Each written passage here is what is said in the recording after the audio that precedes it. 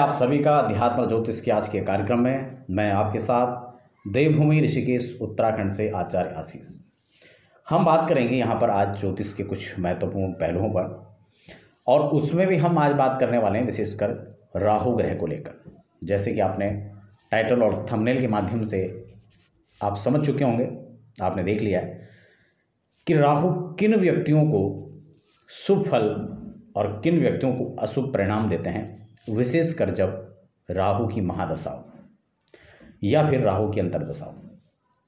आपने देखा होगा, जब भी राहु की दशा व्यक्ति के जीवन में आती है, आप में से तमाम दर्शक जो इस समय इस कार्यक्रम को देख पा रहे हैं, बहुत सारे दर्शक हैं जो ज्योतिष के अच्छे जानकार भी हैं, ज्योतिष में रुचि रखते हैं, दिलचस्पी रखते हैं, जिज्ञासाएँ उनके मन में होती हैं और ज्योतिष पर लगातार रिसर्च करते भी रहते हैं। बहुत अच्छी बात है, होना भी चाहिए। लेकिन राहु की दशा में अक्सर आपने देखा होगा कि व्यक्ति को भय लगता है। राहु की दशा के बारे में विचार और चिंतन होते ही व्यक्ति को लगता है, जैसे मानो न जाने कितना बड़ा पहाड़ जो है उनके ऊपर गिरने वाला है। एक भय का वातावरण, एक भय जैसा माहौल बना होता है। और कई बार तो यूँ भी देखने को मिलता है कि कब जब कोई एस्ट्रोलॉजर कोई ज्योतिषी उनकी कुंडली के बारे में प्रिडिक्शन करते हैं तो तब उनको काफ़ी हद तक बहुत ज़्यादा डरा भी दिया जाता है, जो कि सर्वथा अनुचित है। लेकिन फिर भी आज हम इस एपिसोड में चर्चा करेंगे और समझने का प्रयास करेंगे कि किन जातकों को, किन लोगों को राहु की महादशा अंतरदशा व राहु के शुभ और अशुभ परिणाम भुगतने पड़ते हैं। दर्शकों, इस चर्चा को मैं आगे बढ़ाऊं। इससे पहले आप नए दर्शक हैं तो आप हमारे चैनल को सब्सक्राइब ज़रूर कर लीजिए। साथ ही बेल आइकन को भी प्रेस कर लें ताकि आपको समय समय पर अध्यात्म और ज्योतिष से रिलेटेड अपडेट्स प्राप्त होते रहें। तो आइए हम समझने का प्रयास करते हैं। सबसे पहले तो जन्म कुंडली के बारह भाव में यदि राहु बैठे हैं आपकी कुंडली के अंदर आप अपनी कुंडली खोल करके देख सकते हैं। और उससे संबंधित पॉइंट जो मैं यहाँ पर चर्चा कर रहा हूँ, आप उसको समझ सकते हैं, देख सकते हैं। और आपकी जन्म कुंडली राहु का आधार क्या है? और वह उससे संबंधित दशाओं में क्या शुभाशुभ परिणाम देने वाले हैं, उसको आप इसके अनुरूप समझने का प्रयास करें। देखिए, इस पर एक विस्तृत राहु का जो प्रभाव है, उसको लेकर मैं अलग से भी चर्चा कर चुका हूँ। स्वतंत्र रूप से आप उस वीडियोस को भी जाके देख सकते हैं। और राहु की महादशा की स्पेशल जो अलग वीडियो बनाई हुई आप उसे भी देख सकते हैं। लेकिन यहाँ पर सामान्यतः शुभ और अशुभ परिणाम की अगर हम बात करें तो राहु आपकी जन्म कुंडली में लग्न हाउस में बैठे हैं। तो कहीं ना कहीं यहाँ पर यह भी देखना आवश्यक हो जाता है कि राहु स्वतंत्र रूप से बैठे हुए हैं या फिर किसी ग्रह के साथ युति करके बैठे हैं। और सबसे महत्वपूर्ण बात कि वो किसके घर में बैठे हुए हैं, जिस पर हम अक्सर जो है विचार नहीं करते हैं। तो ये तमाम पहलुओं पर विचार करने के बाद ही हमें राहु फल की ओर बढ़ना चाहिए। लेकिन हम लोग क्या करते हैं? पर्टिकुलर किसी भाव पर हमने देखा, यहाँ पर बैठे हुए हैं और हम सीधा उसकी प्रिडिक्शन करने लगते हैं उसके फल के बारे में हम कथन करते हैं। लेकिन जो सर्वथा उसके सही रूप का, सही अगर हम सही विचार इस पर करें, सही रूप को हम सही नियम को हम फॉलो करते हैं तो सबसे पहले इस स्तुति को समझना महत्वपूर्ण हो जाता है। आइए, अब हम बात कर लेते हैं किन लोगों को इसका शुभ परिणाम मिलेगा। जिन व्यक्तियों के आचरण में कहीं ना कहीं ना कहीं जो कर्कशता देखी जाती है, अशुभ संग जिनके जीवन में रहता है खान पान पर जिनका विशेषकर जो है कोई एक, आपने देखा होगा बहुत सारे लोग अपने दैनिक दिनचर्या में हो या फिर उनके जीवन का एक हिस्सा बन जाता है जो कि मादक पदार्थों का सेवन करना है या सुचिता पवित्रता के अंदर जो लोग नहीं रहते हैं, कहीं ना कहीं राहु उन व्यक्तियों को ज़्यादा अशुभ परिणाम देता है। मान लिया जाए कि धन भाव के राहु हैं अब यहाँ पर स्वाभाविक है, वो पैतृक संपत्ति को लेकर विवाद कराएँगे। प्रॉपर्टी को लेकर वहाँ पर समस्याएँ उत्पन्न होंगी। और ऐसे व्यक्तियों को जीवन काल में देखा जाता है कि कहीं ना कहीं वो जो पैतृक प्रॉपर्टी है, उसका लाभ उन लोगों को नहीं मिल पाता है। कुटुंबीजनों के साथ उनका विरोध देखा जाता है। और जो सबसे बड़ी बात, अपनी दशा काल में वह व्यक्ति को कहीं ना कहीं किसी प्रकार से रोगों की ओर भी धकेल करके ले जाते हैं। ऐसी स्थिति में देखा जाता है कि अगर राहु के अशुभ परिणाम उस व्यक्ति को मिल रहे हैं तो यह भी निश्चित है कि वह कहीं ना कहीं अपने जीवन में दिग्भ्रमित है। अगर निश्चित रूप से उसने अपने जीवन के लिए कुछ नियम बनाए हैं, कुछ रूल उसने बना लिए हैं, और उसी के अनुरूप वह चलता है, आध्यात्मिकता उसके जीवन में है, अच्छे लोगों का संग उसके जीवन में है आदर्श जनों का संग उसके साथ में है तो काफ़ी हद तक उसका जो दुष्प्रभाव है वो खत्म हो जाता है। क्यों? इसके पीछे सबसे बड़ा एक जो लॉजिक निकल करके आता है वो आप समझने का थोड़ा सा प्रयास करें।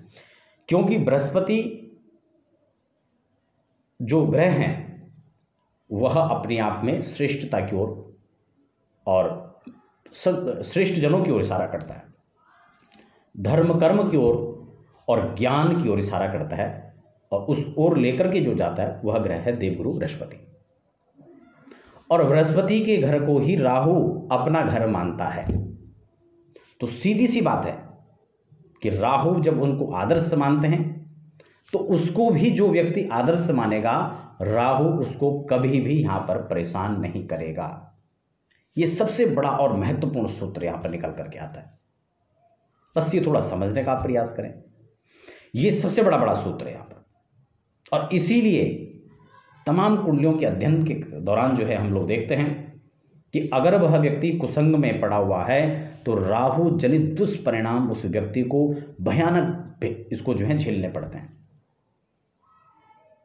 कई हद तक जो है, अगर वह बृहस्पति के प्रभाव में है, शुभ प्रभाव में है, अच्छे लोगों के प्रभाव में है तो राहु बहुत हद तक देखा जाता है कि उसके दुष्परिणामों को यहाँ पर, राहु के दुष्परिणाम जो उस व्यक्ति को नहीं मिलते हैं। और अगर मिलते भी हैं तो उसकी मात्रा बहुत कम होती है। तो इसलिए बंधुओं, यहाँ पर दुष्परिणाम की जब बात आती है तो आप समझ चुके होंगे कि बृहस्पति को चूँकि वो आदर्श मानते हैं यह मुख्य पॉइंट यहाँ पर निकल करके आता है। ऐसी स्थिति में अगर वह उससे संबंधित अपने जीवन में आचरण करता है तो राहु जनित दोषों से वह दूर रह सकता है।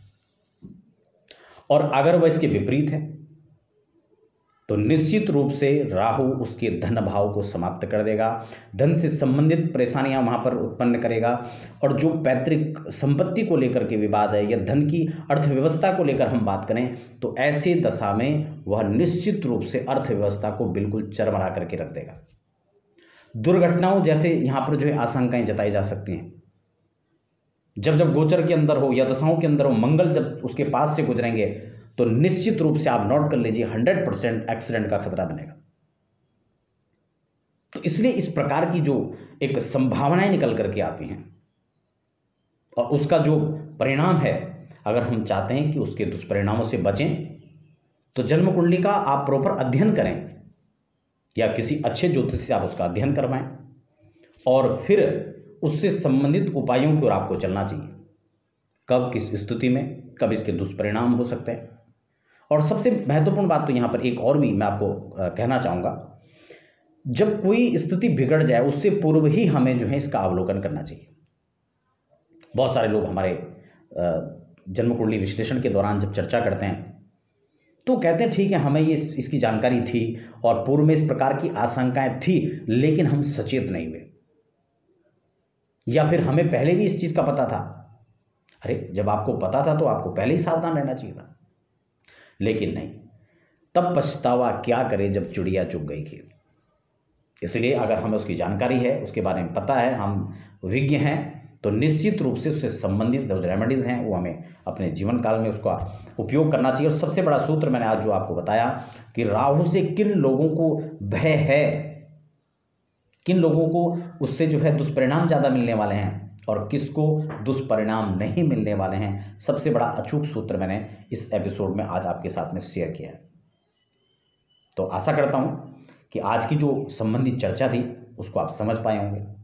इसके दुष्परिणामों को लेकर के अगर कहीं ना कहीं आप अपने जीवन में इसका प्रभाव देख रहे हैं तो उसके लिए भी हमने स्वतंत्र रूप से इसके उपायों को लेकर अलग से भी चर्चा की है।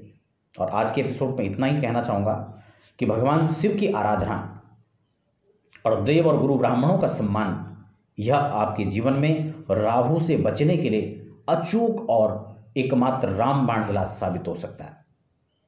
आप इसके लिए देवगुरु ब्राह्मणों का सम्मान करें। उनके आदर्शों पर चलें और उनसे सलाह लेकर के चलें। तो आप ये मान के चलें कि राहु का 10 प्रतिशत भी दुष्प्रभाव आपको नहीं मिलेगा और अनुचित खान पान और अपने संग का विशेष आप इसमें ध्यान रखें।